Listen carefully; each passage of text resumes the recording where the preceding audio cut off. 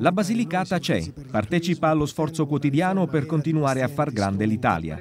E questa è la dichiarazione del presidente della regione Basilicata Vito De Filippo alla celebrazione solenne a Montecitorio per i 150 anni dell'Unità d'Italia.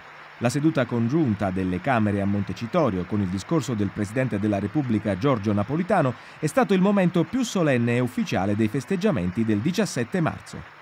È una presenza rispettosa, sentita e doverosa, ha aggiunto De Filippo. È un esserci senza se e senza ma, che è presupposto di quella cittadinanza che dà doveri e diritti in questa nazione. Le nostre virtù, ha affermato il presidente De Filippo nel corso del suo recente intervento in Consiglio regionale, ci impongono di accogliere la sfida della prospettiva federale dello Stato, se questo servirà a chiudere definitivamente una facile geografia degli sprechi e delle inefficienze.